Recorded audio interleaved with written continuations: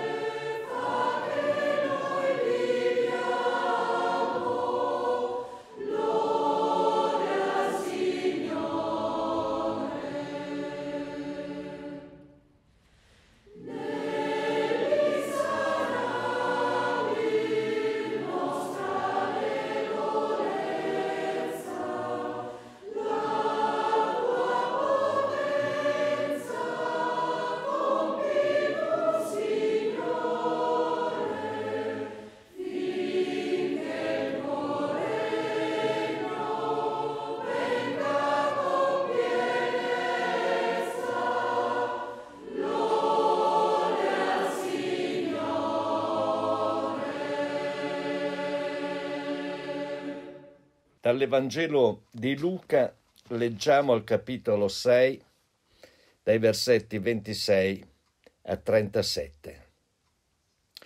Guai a voi quando tutti gli uomini diranno bene di voi, perché i padri loro facevano lo stesso con i falsi profeti. Ma a voi che ascoltate io dico, amate i vostri nemici, Fate del bene a quelli che vi odiano, benedite quelli che vi maledicono, pregate per quelli che vi oltraggiano. A chi ti percuote su una guancia, porgigli anche l'altra, e a chi ti toglie il mantello, non impedire di prenderti anche la tunica.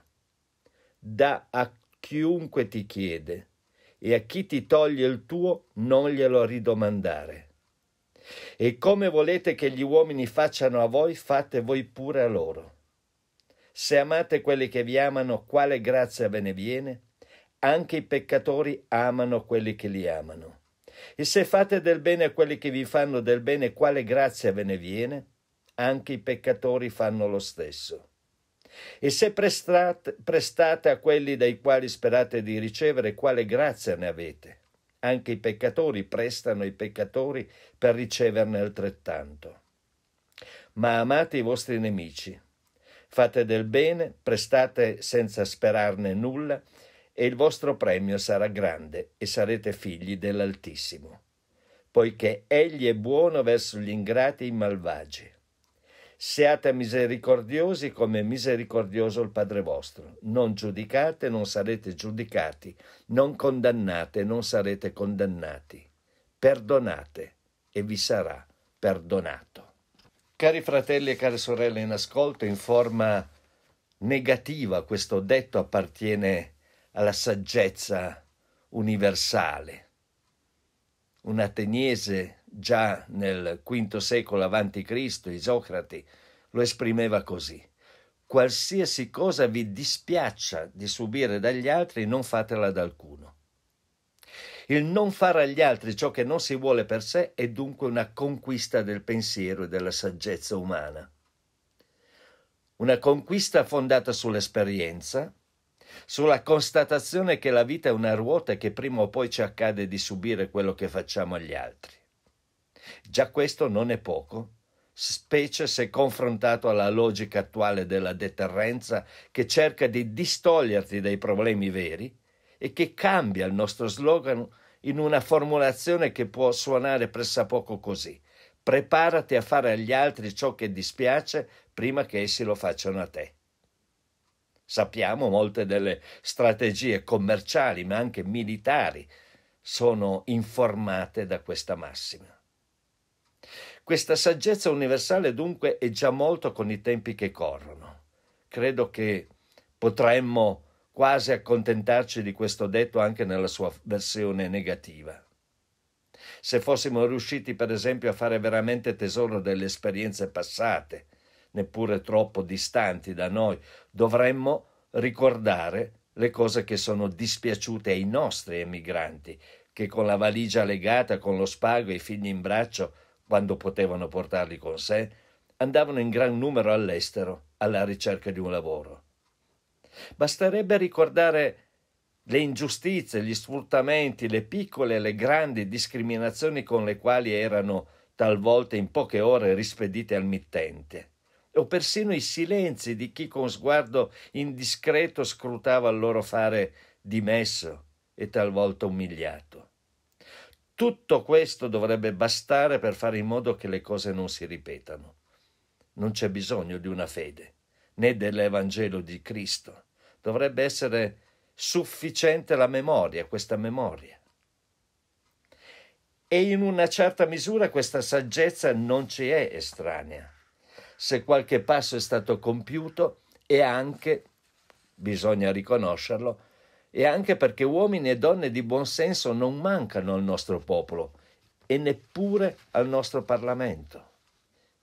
Fino a un certo punto però, fino a che questo nuovo forzato esodo biblico dai paesi più poveri verso l'Italia non rappresenta una minaccia per la nostra economia e per la nostra occupazione. A quel punto le cose cambiano, i luoghi comuni si insinuano negli, in questi orizzonti mentali della nostra gente e al fastidio segue presto un più aperto rifiuto. A quel punto torniamo a dimenticare la lezione della storia. Si dà il caso però che il detto che troviamo nel Vangelo di Luca e anche in Matteo sia in forma positiva e come volete che la gente faccia a voi, fate voi pure a loro. Sembra nulla, ma Gesù nel rivolgere in positivo questo detto lo ha radicalizzato, facendone una regola d'oro per il discepolo e per la Chiesa. Gesù in pratica dice che non è affatto sufficiente un'etica non aggressiva o se volete non violenta per il cristiano, perché il discepolo si caratterizza per quello che fa, non per quello che non fa. Non solo, ma Gesù assumendo come dato della realtà l'egoismo umano lo usa per radicalizzare la domanda di servizio verso gli altri. Quanto più si vuole per sé, tanto più si è in obbligo di fare per gli altri. In questo è tratteggiato quel qualcosa di più che deve caratterizzare il ruolo del credente e delle nostre comunità. Nessuno di noi ha bisogno solo di una casa o di un lavoro e quindi nessuno di noi è autorizzato a ritenere la sua coscienza a posto se questo, che per altri versi è già molto, è ottenuto mediante le leggi. Siamo chiamati come chiese a diventare comunità di accoglienza, dove si possa avere ciò che una legge, per quanto democratica e civile, non può dare. E questo è il compito che ci sta davanti e nessun ufficio o dipartimento specializzato può assolverlo per noi. Solo la comunità locale può rispondere a questo imperativo. E se è vero, come è vero che il verbo volere in questo versetto può essere tradotto anche con eh, desiderare, cioè fate agli altri quello che desiderate per voi, noi, la Chiesa cristiana, non siamo chiamati a svolgere un servizio nel semplice ambito dei bisogni più o meno urgenti, ma addirittura nell'ambito dei desideri. Un servizio verso quell'anelito di pienezza di vita e di ricerca di senso che ci rende inquieti, che rende le nostre notti agitate, che crea in noi angoscia talvolta, ma anche impazienza e attesa di un domani migliore. Insomma, se i bisogni sono rivolti a questa terra non possono essere sottovalutati.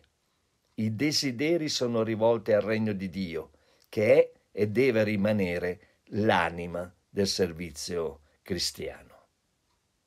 Questo slogan dunque non è una regola d'oro perché propone a noi ciò che è stato Gesù nella sua persona, ma lega lui a noi, indica a noi, discepoli e discepole, la via che ha percorso il nostro Signore.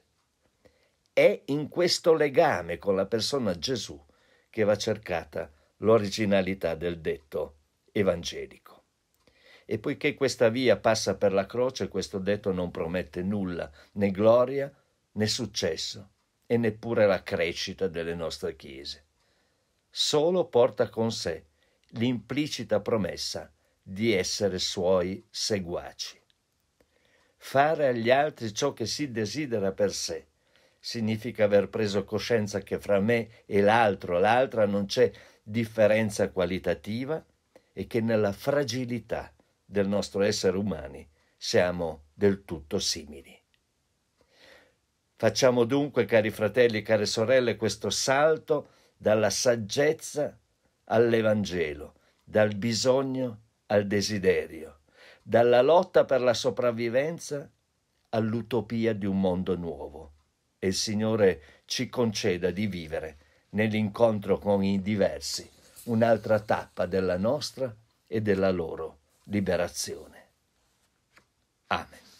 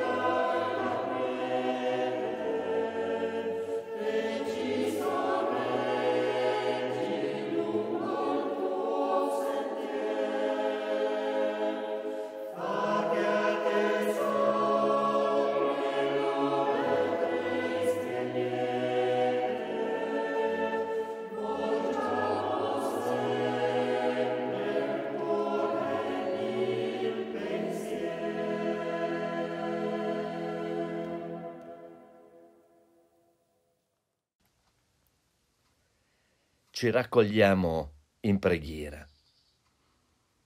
Signore Dio nostro, agisci in noi e trasformaci.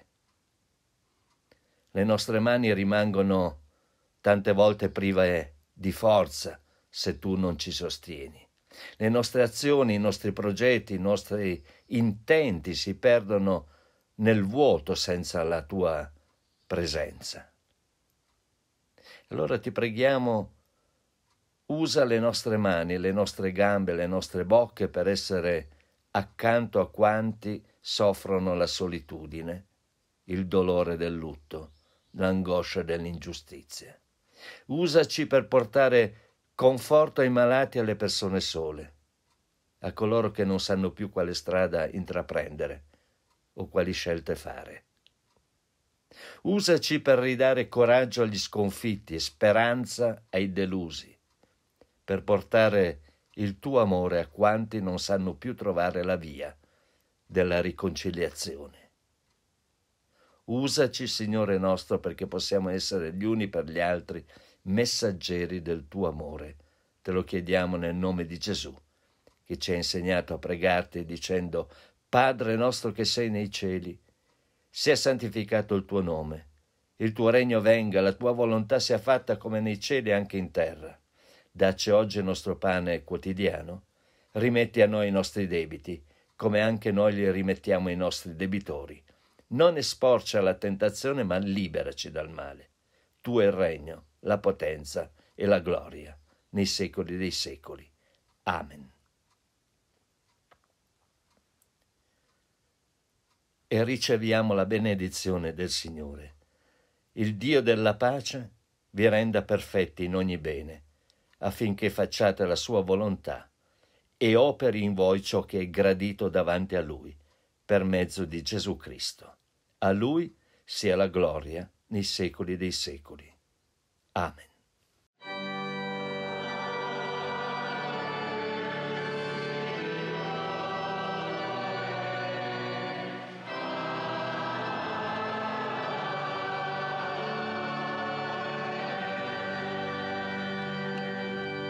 Avete ascoltato il culto evangelico valdese a cura del pastore Vito Gardiol.